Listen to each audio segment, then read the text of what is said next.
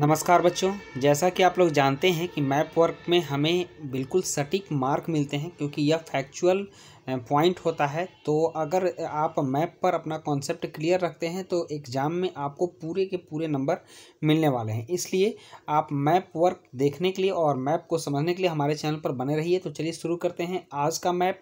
और आज का मैप है पार्ट तीन, भारत में राष्ट्रवाद। क्लास दस का है और यह बोर्ड एग्ज़ाम में पूछा जाता है। काफ़ी इम्पोर्टेंट सवाल है यह। आज के मैप में हम लोग यह जानेंगे कि भारतीय राष्ट्रीय कांग्रेस के अधिवेशन स्थल कहाँ कहाँ थे। तो आप सबसे पहले यह समझ आइए कि भारतीय राष्ट्रीय कांग्रेस के अधिवेशन स्थल तो बहुत सारे थे, लेकिन हमें जो चैप्टर के अनुसार देखना है, वह कुछ इंपॉर्टेंट जगहों को ही देखना है और उन लोग जगहों पर हम अपना कॉन्सेप्ट बिल्कुल क्लियर रखेंगे ताकि हम कहीं कोई गड़बड़ी ना करें। तो यहाँ तीन स्थल दिए गए हैं। सबसे पहले है यहाँ कोलकाता, जो कि उस समय कलकत्ता कहलाता था और यहाँ सितंबर 1920 में कांग्रेस का अधिवेशन हुआ था और 1920 में ही नागपुर में भी अधिवेशन हुआ था। इस चीज़ को हमें समझने की आवश्यकता है।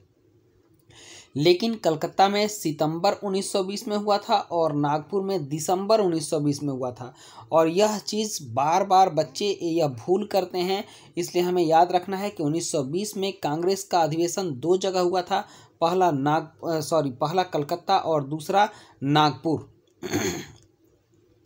तो हमें याद यह रखना है कि सितंबर 1920 में कलकत्ता में कांग्रेस का अधिवेशन हुआ था और दिसंबर 1920 में नागपुर में कांग्रेस का अधिवेशन हुआ था। नेक्स्ट है मद्रास और यह बहुत बार पूछता है कि मद्रास में कांग्रेस का अधिवेशन कब हुआ था। तो 1927 में हम यह याद रखेंगे कि मद्रास में 1927 में कांग्रेस का अधिवेशन हुआ था।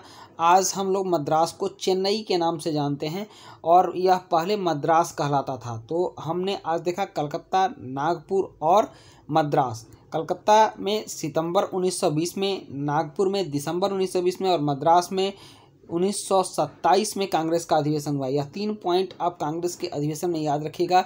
यह बिल्कुल परीक्षा में आने वाला प्रश्न है और इसमें आपको पूरे के पूरे मार्क्स मिलेंगे। तो आप हमारे चैनल पर बने रहिए। नित्य आपको एक मैप वर्क दिया जाएगा और जो कि आपके परीक्षा में आपके अंक को पूर्णता प्रदान करेगा। तो मिलते हैं नेक्स्ट वीडियो में। धन्यवाद।